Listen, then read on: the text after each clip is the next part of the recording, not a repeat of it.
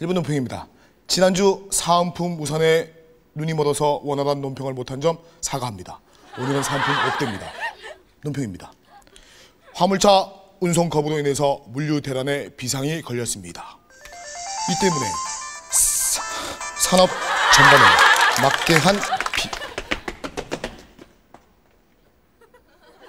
막대한 비상이 걸렸습니다. 정부는 어서 빨리 이런 사태에 대해서 녹화 중이야. 어, 사랑해. 빨리 사태를 해결해줘야 할 것입니다. 사태가 미친 게나 여보세요. 사태가 어. 아, 지금 녹화 중이야. 이 지경까지 아, 괜찮아. 괜찮아. 것은 이거 금방 끝나는 거야. 그 야, 금방 22초 남았어. 정- 근본 아니야, 대책인 뭐 하는 건지 점을 모르겠고. 어. 야 이봐! 너가 일본을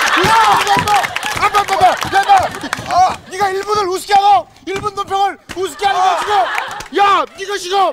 일본 논평을 정부는 어서 빨리 아.